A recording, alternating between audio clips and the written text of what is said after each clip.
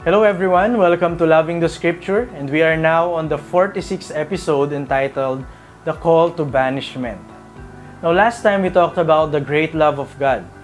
But because of the great love of God, we can come to His presence. At kung atras pa tayo ng konti, in verses 4 to 6, we talked about how God is displeased with wickedness and everything that is evil. So, hindi napiplease ang Panginoon sa kasamaan. And tonight, no, we will see the part of David's psalm where he prayed for judgment to the wicked people. Now, as we as we go through this topic, I want us to really guard our hearts because in the Bible, no, we have this what we, we have this uh, prayer na tinatawag na imprecatory psalm or imprecatory prayer. Now, ano ba to? An imprecatory prayer is a calling down of judgment or curse against one's enemies or those who are enemies of God. Sabi ko nga kanina, i-guard natin yung heart natin. Baka kasi ang thinking agad natin, no? Pwede pala yung ganitong prayer eh. So kapag may taong nakasakit sa akin, ang ipagpe-pray ko, i-punish siya ng Panginoon. Ang ipe-pray ko, yung judgment sa kanya ng Panginoon. Sabi ko nga, i-guard natin yung heart natin. Imprecatory prayers are not driven by vengeance, but a deep desire for justice. Again, it is not driven by vengeance or sa paghihigante, but deep desire for justice, for the justice of God. David prayed this prayer not for his own emotional satisfaction. Ibig sabihin, hindi lang para ma-satisfy na makaganti siya sa mga sa mga enemies niya or may mangyaring masama sa mga enemies niya, but for the justice of God to prevail against the wicked who oppose God. Against the people who oppose God. Not even the people na may personal na problema kay King David. But yung mga tao, people who are wicked. In Psalms chapter 5 verses 9 to 10, verse 9, Not a word from their mouth can be trusted. Their heart is filled with malice. Their throat is an open grave. With their tongue they tell lies. So we see here the basis of this imprecatory prayer of David. Sabi doon, their mouths are full of lies, their hearts are filled with malice.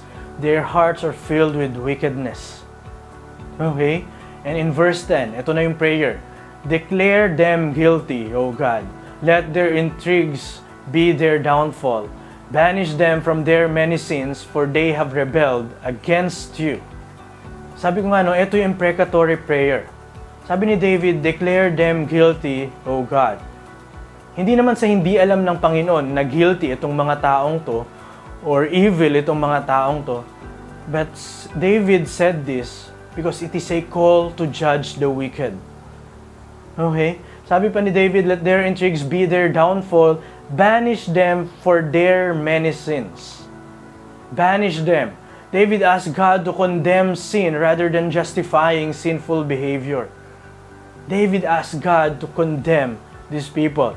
The basis of this call to judge to banishment is their many sins. Sabi doon, banish them for their many sins. Sa kanilang dahil sa kanilang mga kasalanan and their rebellion against God. Sabi doon, for they rebel against you.